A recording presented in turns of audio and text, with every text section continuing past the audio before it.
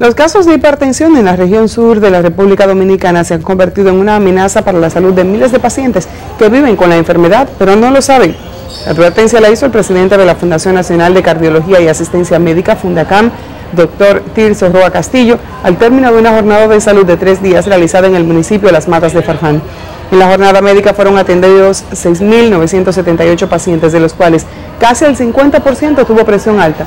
De esa cantidad, la mayoría desconocía que sufría ese mal. Roa Castillo atribuyó la situación al alto consumo de sal cruda, la vida sedentaria, la falta de ejercicio físico, el poco consumo de frutas, vegetales y de omega 3.